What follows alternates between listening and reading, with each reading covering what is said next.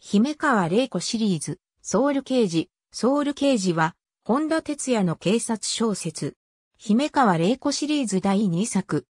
公文社より2007年3月に単行本、2009年10月に公文社文庫が刊行された。死体なき殺人事件の捜査を進める中で、相矛盾する証言が立ちはだかる。前後章から構成され、作品の鍵を握る高岡健一と三島康介のモノローグを章の冒頭に挿入する。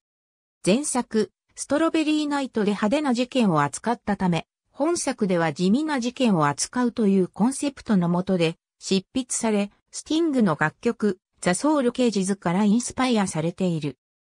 そのため本作では著者なりの解釈による不正が主題となっており、劇中では事件の当事者と自分のことを大切に思う、父親の思いを知った、姫川、そして、本作では事実上の遵守役であり一人息子を思う、草加の心情と登場人物それぞれに、不正と関わる場面に焦点が当てられている。2012年、姫川玲子シリーズを原作とした、フジテレビ系列連続テレビドラマ、ストロベリーナイトで、第9話から最終話まで前中後編にわたり3話分かけて2019年に同じく姫川玲子シリーズを原作としたフジテレビ系連続テレビドラマストロベリーナイトサーガで第2話から第3話まで前後編にわたり2話分かけてそれぞれ映像化された。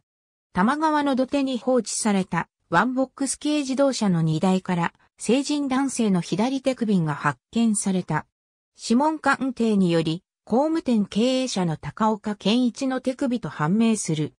また通報により、高岡が賃貸人になっていた同じ区内にある工務店のガレージに致死量を超えた大量の血痕が発見され、死体なき殺人事件として捜査が開始される。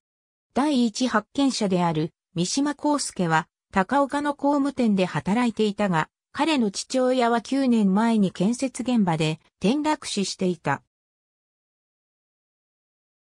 一方、康介と付き合っていた中川美智子に聞き込みを行った玲子は、彼女の父もまた2ヶ月前に建設現場で事故死していたことを知る。